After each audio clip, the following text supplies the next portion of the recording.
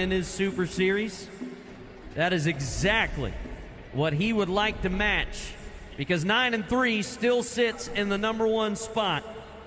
Cowboys won nearly $5,000.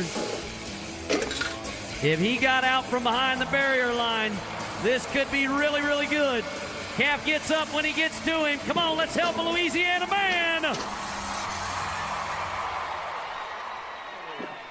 All right, let's do this unofficially at a 9 1.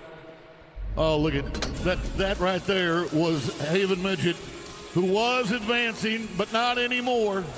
This 24 year old young gun who made it to the NFR in 2022 and didn't even take a wrap in a hooey.